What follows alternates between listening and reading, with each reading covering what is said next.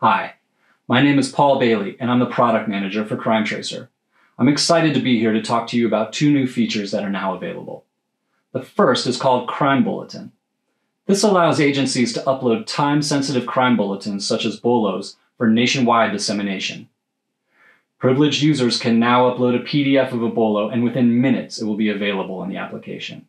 And CrimeTracer users can set alerts and be notified anytime their agency or any other CrimeTracer agency has uploaded a bulletin. This greatly increases information sharing velocity and allows officers to take immediate action on matters that are time sensitive. The second feature I want to talk about is the integration between CrimeTracer and CaseBuilder, SoundThinking's case management tool. Now, for the first time, investigators have access to over 1 billion searchable documents directly from within a case management tool. Investigators can search for persons of interest and pull back details without needing to rekey or copy and paste. This greatly increases accuracy and efficiency in building and managing cases. But these two features are just the beginning.